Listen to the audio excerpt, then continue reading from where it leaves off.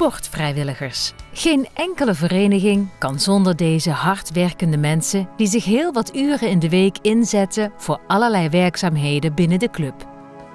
In deze aflevering van Gold Verein vertellen ze waarom ze dat nog altijd met veel plezier doen.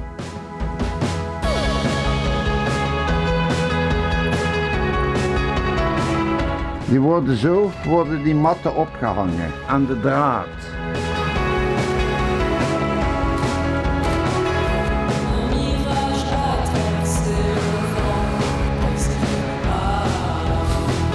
Zonder vrijwilliger geen vereniging.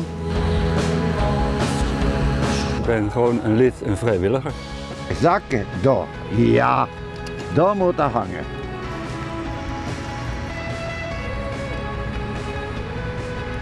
Goed, Bij TC Bunde is een zogenaamd P-team werkzaam. Dat is het parkteam, waarin vrijwilligers onderhoud plegen aan het tennispark. Daardoor wordt er aanzienlijk bespaard op onderhoudskosten. Het P-team is een groep van, eh, van vrijwilligers, eh, gemotiveerde vrijwilligers, die het park onderhouden, de banen onderhouden en allerlei werkzaamheden doen bu- eh, buiten het buitengebeuren eigenlijk. De mensen van het P-team, die, eh, het is ook een sociaal gebeuren. Het is niet alleen het, het, het park onderhouden, maar ook een sociaal gebeuren. Ik zeg altijd, als je het voor mij doet, moet je het zeker niet doen. Doe het voor de club akkoord, maar doe het vooral voor jezelf.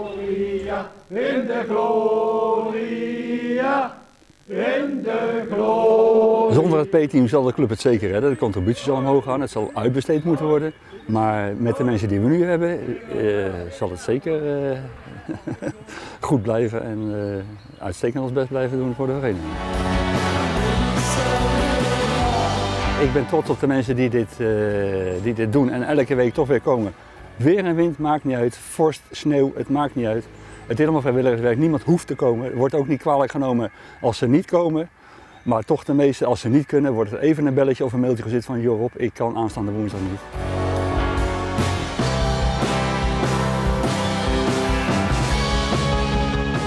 Het B-team is heel belangrijk voor de club. We zijn heel dankbaar dat zij iedere week al het werk verrichten. Want we zijn natuurlijk een vereniging en op die manier besparen we veel kosten uit die anders gemaakt zouden moeten worden om professionals daarvoor in te huren. Wij hebben verschillende soorten vrijwilligers. Het P-team is de grootste groep en ook de groep die echt een vaste structuur heeft. Verder hebben we, een beetje inspelend op de vraag van onze leden, heel veel losse taakjes. Dus er zijn mensen die captain bij een team zijn, met name bij een jeugdteam. We hebben eh, een kantine die beheerd moet worden, dus bardiensten is een grote. En er komen ook altijd weer ehm, losse taken bij. We hebben, laatst hebben we een bundel meid gehad, dus de braderie hier in het dorp, waar mensen beschikbaar moeten zijn om de stand daar te beheren. Dus dat is heel verschillend. Het is helaas niet makkelijk om vrijwilligers te krijgen. We, het, is, het is zelfs moeilijk om mensen te krijgen, omdat we allemaal hele drukke levens tegenwoordig hebben. En het moeilijk is om, om mensen te vinden. Het moeilijkste is om mensen te vinden voor een structurele taak. Als je het woord commissie in de mond neemt, sta je heel snel alleen. Dan gaat iedereen er vandoor. En mensen zijn wel bereid om te helpen, maar dan moet je het vooral afkaderen in kleine, behapbare taken. Wij hebben dit jaar samen met het Huis van de Sport Limburg een eh, subsidieverzoek ingediend. Wij hebben geluk gehad, want onze aanvraag is gehonoreerd. Dus wij zijn nu, we zijn net gestart met het project Sportdorp. Sportdorp is een interventie die erop gericht is om mensen uit het dorp meer te laten bewegen. En bij ons is de interventie toegeschreven aan de ouderen uit het dorp. We hebben de aanvraag niet alleen gekregen, de tennisclub is de hoofdaanvrager. En daar moet je allerlei samenwerkingspartners zoeken. En die hebben we in het dorp gezocht. Kijk, het mooie van die vereniging is dat je alle leeftijden hebt. En ik zie daar heel graag in dat ze elkaar tegenkomen en samen bezig zijn. En het kan, ook, het kan elkaar ook daardoor versterken. Want met name als het voor een oma moeilijker is om de drempel over te gaan naar een sportvereniging, want dat is natuurlijk toch meteen sporten, kan het kleinkind de drempel verlagen en het makkelijker maken om een keertje mee te gaan. Ik sta nu al zo 38 jaar achter de bar. Tjus, de oudste van mij was 6 jaar. Die stond altijd heen neven mij in de koets. En Twijn speelde toen in het dierste. Ja, we hebben dus via het sporten leren kennen. Ik was bij de atletiek. Ja, dat zou je nu niet zeggen, hè, meneer? Echt hoor. Ik liep ze allemaal voorbij. 80 meter horde was mijn specialiteit. De gezellig van het jekerke noemden ze mij. Ja, we moeten het voor de sport hebben, hè. Maar allemaal, ik zeg wel eens, meneer, het is de jeugd van vroeger, niet? Ja. Niet, geen goed woorden voor die wat heen komen, meneer. Maar ja. Hé, hey, jongens. Een beetje rustig, hè? En denk erom, dadelijk die stuur terug op zijn plaats. Davy, zeg nog eens tegen de pap dat er zaterdag moet flirten, hè? Ach ja, ze zien jong, kan meneer. Maar dit zien nog jonglui die echt willen. En daarom dacht ik dat werk ook met zoveel plezier. Je ene moet het doen, hè? Vind nog maar eens een vrijwilliger. En de kreeg er een heel veel. Diverse generaties zien helemaal niet voorbij gekomen, meneer. Het is bekend familievader. En zal ik u nog iets gaan vertellen? Mijn oudste kleinzoon is gescoord bij MVV. Nog eer en Danny.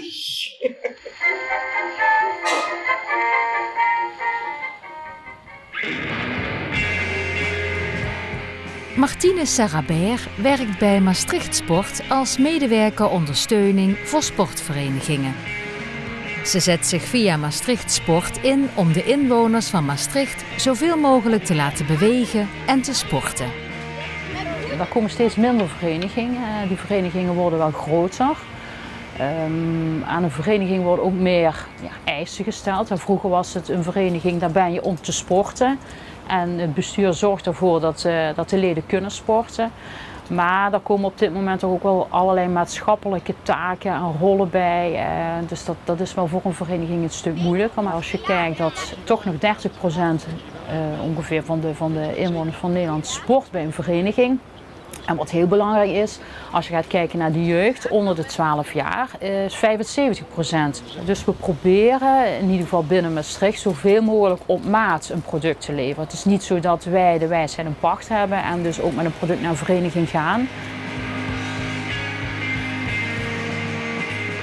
Het is echt vraaggericht uh, met een vereniging aan de slag van waar, uh, waar zitten jullie uitdagingen, waar willen jullie heen en wat kan Maastricht sporten en betekenen in ondersteuning in het faciliteren en soms in de uitvoering.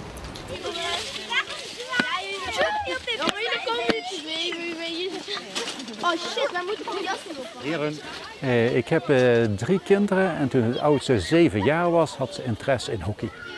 Eh, zelf had ik geen enkele ervaring met hockey. Maar dan ga je met je kind de club bezoeken. En dan sta je het zaterdags langs de lijn naar de competitie te kijken. Eh, met de trainingen sta je langs de lijn. Ondertussen komt het tweede kind erbij.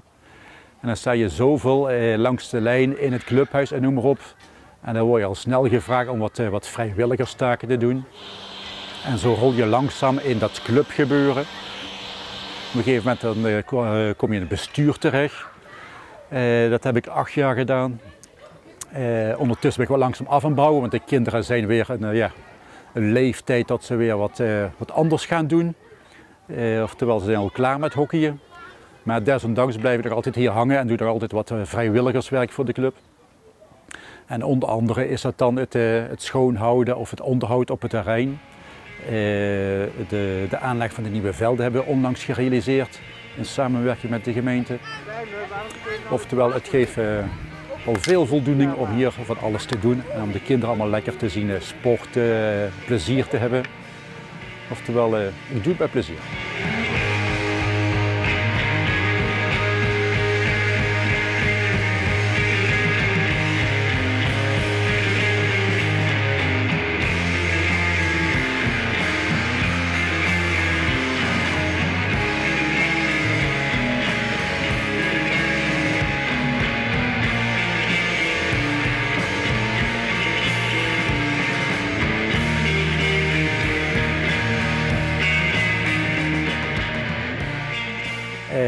Club zijn uh, 225 vrijwilligers jaarlijks nodig.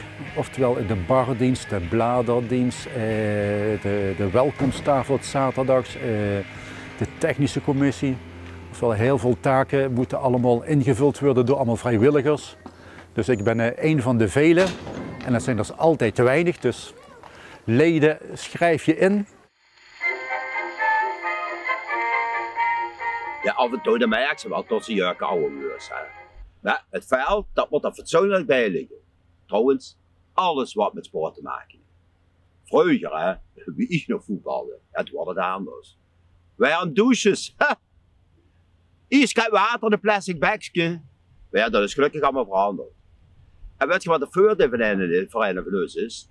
Ja, dan kunnen ze op de voeten lopen, dan kunnen ze onder de lui en dan blijven ze in beweging, hè. Wat zeg je, jong? Ja, ik kom daar horen. Ik moet het best doen, hè. Dat is een groot speurlijk idee, ja. En weet je wat er ook is? De lui die hier komen, die ze allemaal, hè. Van jong tot oud. Maar dan zie je bij met een leeftijd manier. Dat wil ze niet weten. Oh, Martijn. Morgenmiddag trainen, hè, jong. En de kuten in vetten, hè. ja, voor hebben ze een clubje en voor sporten een paar keer in de week. En ik organiseer dat daar. En ik zorg dat de trein vrij is en de kleedkamer zuiver en zo weer. Hè. En wat ik zeg, wordt ook erg gewaardeerd. Maar wat horen de zwoer? Het zijn meestens altijd dezelfde die het moeten doen in zo'n vereniging. Zeg, en, en dat kunnen we allemaal op de televisie, hè? Leuk! Succes ermee, hè?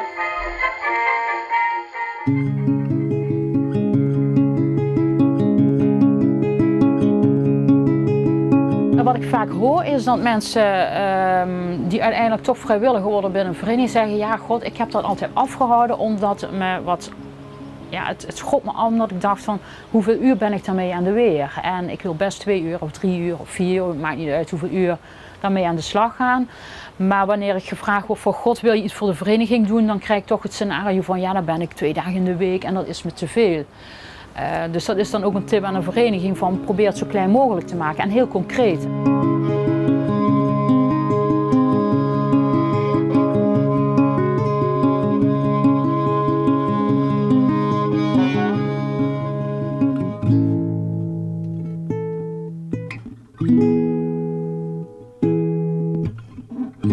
Ja, waarom doe ik het? Uh, het is uiteraard inderdaad dat uh, sociaal gevoel en sociaal bezig zijn. Ik zit graag tussen mensen.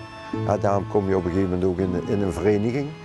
En uh, de werkzaamheden wat je doet, ja, die geeft toch wel voldoening. En zeker richting jeugd. vroeger uiteraard zelf ook in de jeugd gevoetbald. Hebben andere mensen voor me klaargestaan. Nou, nu sta ik een beetje klaar. En dat geeft echt een goed gevoel. Ja. Zo,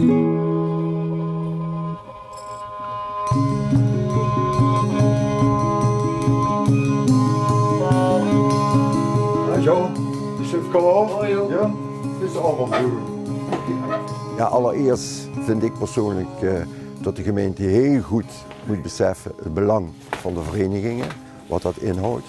Jeugdopvangen, zeker. Senioren kunnen vaak voor zichzelf zorgen. Maar jeugd die moet toch opgevangen worden. Die kun je niet meer langs de straat laten lopen. En het wordt vaak met de mond beleden. Hè, van uh, ja, we vinden het allemaal zo belangrijk. Maar inderdaad daadwerkelijk ondersteunen vind ik toch uh, tot achterblijf. En dat is toch eigenlijk wel jammer.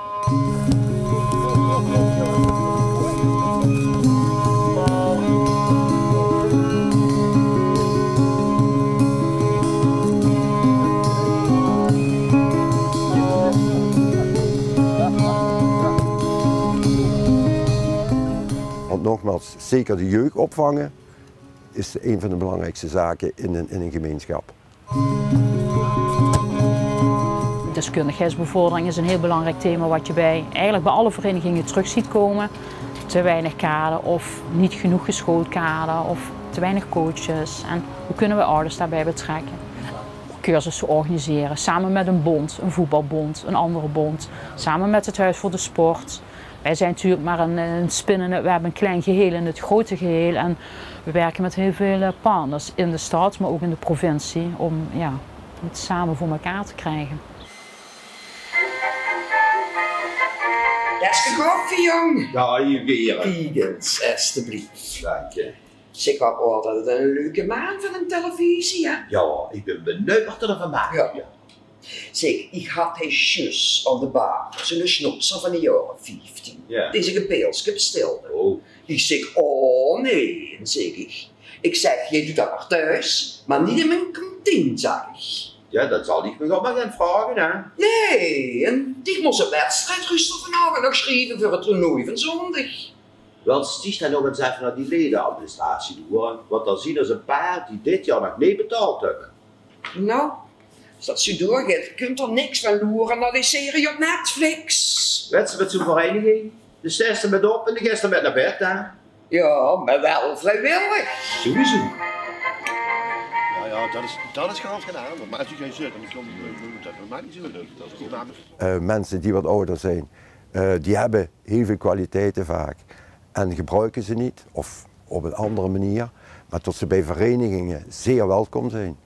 En eh, ik zou ze willen oproepen, jongens, kom maar bij. De koffie staat klaar.